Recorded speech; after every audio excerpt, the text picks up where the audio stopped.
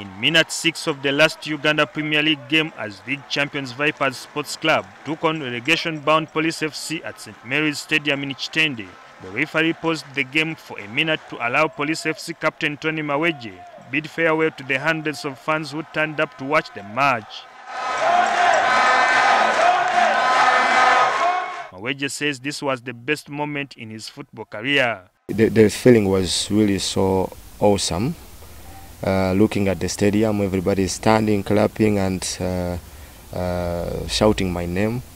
I felt uh, uh, I felt appreciated for all the time I've been playing football. I I felt so good. That was a moment that uh, brought up all the memories that I was on the pitch, that I delivered when I was on the pitch, when I scored goals that is the moment I felt appreciated for way back victories I put up uh, for the Cranes and all the teams I've been playing for. Mawejje, who was substituted in this match after 75 minutes, called time to his 19-year football career immediately after this match. He tells us it was not easy to quit. It feels kind of uh, emotional. You feel like you are living uh, the stage. You are leaving something that you've always loved to do, something that gives you happiness, and putting off the armband and giving it to another guy, it, it, it, it is a, a sign that all the responsibilities now are coming to you. The standing ovation was given to Mawejje in minute 6, which has always been his favorite number on the pitch and also his best shot number. When I had just started watching uh, football on TV. Uh, there happened to be a game. Manchester United was playing Real Madrid in the Champions League. And there is a guy in Real Madrid side by names of Fernando Redondo. He was really a good, good midfielder. I liked him from that day, and he made me love.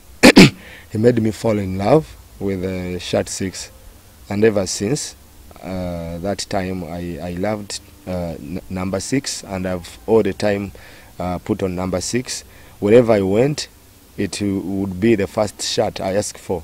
Maweje returned home two seasons ago from Kuwait, where he was playing professional football. We asked him why he chose to end his career on home soil.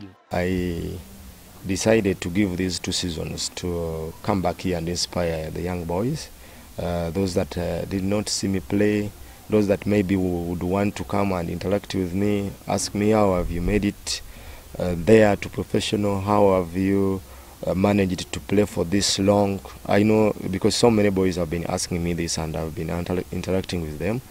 So I decided to do this for them, to inspire them and uh, uh, uh secondly for my fans. They are those fans that have not uh, been following um, the leagues I've been playing in and I wanted to come back and give them the, that final final blast and they see their their player playing playing for the uh, last time uh, in in football so I, I did it for basically for the young players and my fans he turned professional in 2009 at IBV in Iceland after the 2008 Sekafa Senior Challenge Cup. He says professional football shaped his career. When I went to professional, my game uh, changed totally from from what I was playing when I was here because uh, I, I, I, didn't know a lot of things. When I reached there, I, I got to know that, oh, I've been missing a lot of things I didn't know.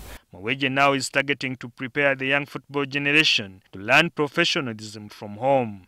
I want to uh, do something that uh, I prepare the kids, the, the, the, the things I've learned from there, I pass it on to the kids so that by the time they reach uh, uh, their time of going for professional, they are ready because for me, I happen to learn them from there. Now for them, I want them to learn them from here. Tony Maweje's 19-year football career has seen him play for five Ugandan clubs and five other clubs abroad, including in Iceland, Norway, South Africa, Albania and Kuwait. Sam Mpoza, NTV Sport.